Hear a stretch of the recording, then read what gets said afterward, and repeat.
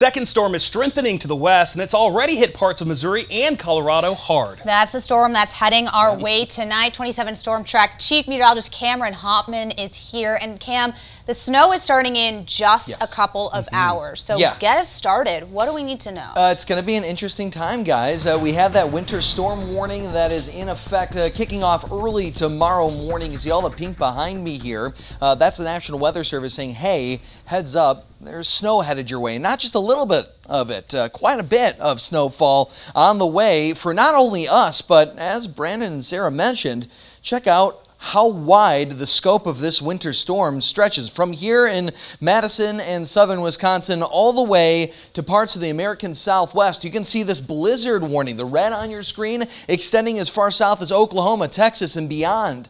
Now, thankfully, we're not going to necessarily see blizzard conditions. We will see strong winds. We will see heavy snowfall. But as we get a little bit closer to home, this is why we are seeing that significant winter weather uh, system uh, slowly churn towards parts of southern Wisconsin. Now, here is the low right now, centralized just northwest of Oklahoma City. That system is going to slowly push out towards parts of Missouri, central Illinois, eventually pass south of Chicago, head up towards parts of southern Michigan, eventually depositing quite a bit of snowfall here at home. However, as of now, that is just not the case. There's no snow for our part of the nation quite yet. That will change, however. Checking out our Constellation camera overlooking downtown Madison, the Capitol building, East Wash there in the foreground. It is quiet. It's cool. It's 32 degrees. We have a lot of cloud cover today, keeping temperatures relatively stable, and we will continue to see that as we head into tomorrow as well. A lot of cloud cover, a lot of moisture.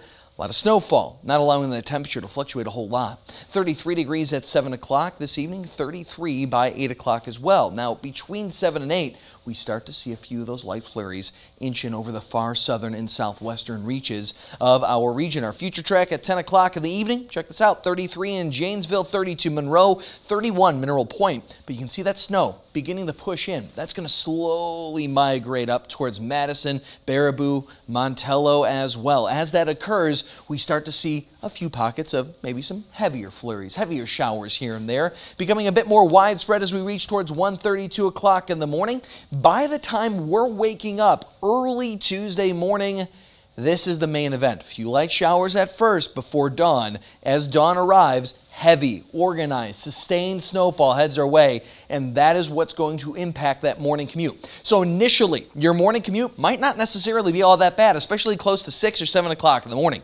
By 8, 9 o'clock in the morning, we are talking significant impacts of that morning commute. So delays, uh, very slick roads, a possibility. There may be some areas across southern Wisconsin that are going to be downright hard to travel on throughout the day tomorrow because of that heavy organized snowfall. And that can be said for your evening commute as well as in fact, your evening commute probably looks a little bit messier than your morning commute. So going back to our future track, this is 2 o'clock in the afternoon. You're getting the idea at this point. Heavy snowfall continues to fall. Our future track data brings this snow out of the region as early as around 10:30, 11 o'clock.